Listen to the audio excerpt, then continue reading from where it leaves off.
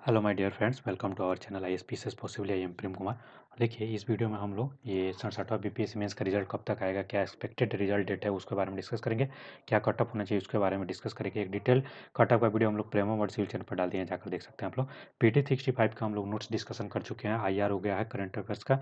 आपको कल्चर हो गया है साइंस एंड टेक हो गया है इन्वायरमेंट हो गया इकोनॉमी चल रहा है।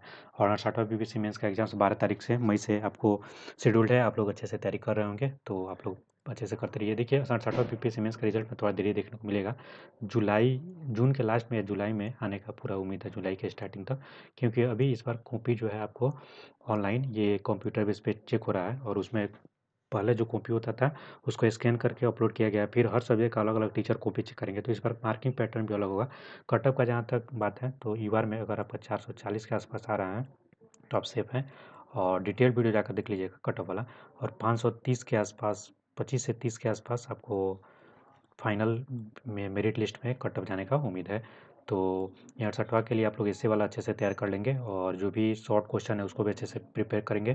जो भी पी में बड़े क्वेश्चन आते हैं तो उसको भी देख लेंगे और आपको क्या बोलते हैं उसको ऑप्शन को भी अच्छे से तैयार करेंगे। ऑब्जेक्टिव टाइप का यूजीसी का क्वेश्चन ज़रूर देख लीजिएगा।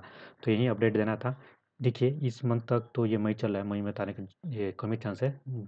मई में या जून में आपको व्हाट्सअप टीचर ये गर्मी की छुट्टी में रिक्रूट करेंगे। चेयरमैन का आप लोगों ने इंटरव्यू सुना ही होगा तो कॉपी जल्दी से चेक हो पाएगा और इंटरव्यू का प्रोसेस भी फास्ट किया जाएगा।